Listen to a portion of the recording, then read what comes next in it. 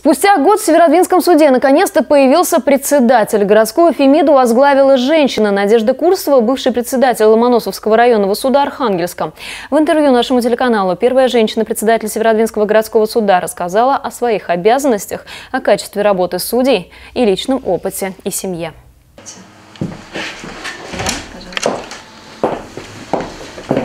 Ни секретаря, ни помощника кандидатов Надежда Курсова пока присматривает, говорит, таких несколько. Председатель Северодвинского городского суда второй день в новой должности. С коллегами познакомилась. Личные вещи еще в пути. После выходных планирует разбирать коробки с деловыми папками. Мантию привезет также из Архангельска. С работы подчиненных знакомится по конкретным материалам. Но за Северодвинским судом наблюдала много лет. Северодвинский суд занимает по служебной нагрузке второе место в области после Октябрьского. Э, районного суда города Архангельска. А как определяется эта нагрузка? Просто по количеству? Количеству поступивших дел и материалов, рассматриваемых судом. А какие-то цифры можно? Э, цифры вот за 9 месяцев 2016 э, года Северодвинский суд рассмотрел более 12 200 дел и материалов. Это очень большое количество дел. В кабинете раньше был мужчина. Вы как женщина что-то принесете в этот кабинет? Немножко изменю кабинет. Он такой грустноватый, действительно чисто мужской. Угу. Наверняка здесь будет море цветов, это понятно. Но все должно быть, опять же, в меру и по-деловому.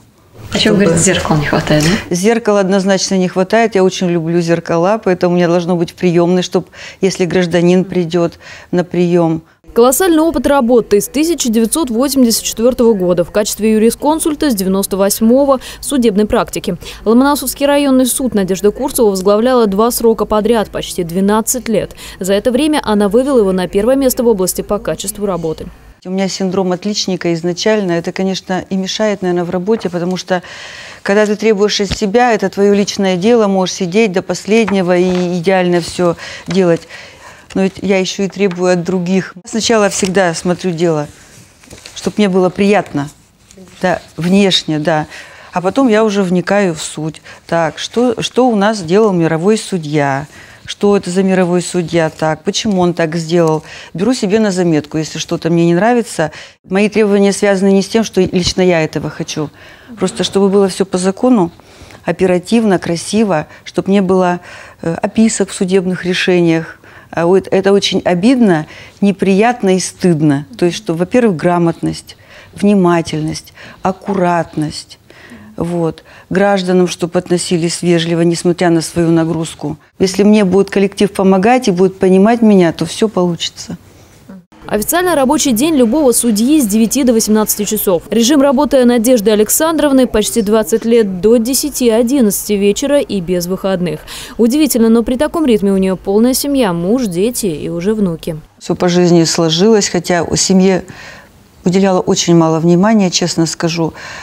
О чем очень жалею, но в то же время, если работа на первом месте, то надо было выбирать. Я, получается, выбрала карьеру, но в то же время, ну, вот благодаря, наверное, моему мужу, что вот воспитали мы троих замечательных детей. А вот отпуск – это святое. Судье полагается отдыхать в год два месяца. Семья Курсовых не ездит по заграницам. Любимое место – деревня в Верхнетоемском районе. Но на новом рабочем месте до отпуска еще далеко. После разбора бумаг Надежда Александровна приступит к семейным разборкам северодвинцев. Она будет вести гражданские дела. Валентина Приходько, Семен Самигулин, Вестник Северодвинска.